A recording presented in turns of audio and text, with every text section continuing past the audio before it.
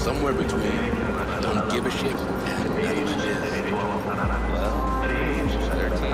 Hey, a little bit ago, a Tyger Claw called for help, attacked by a certain Aki. At least that's what they call the rogue tiger hunter. He's been picking off his own in silent but spectacular fashion. My gut says this Aki had a cyber-psychotic break, but I'd like to know for sure. Don't kill him if you don't have to, and don't forget to watch your back.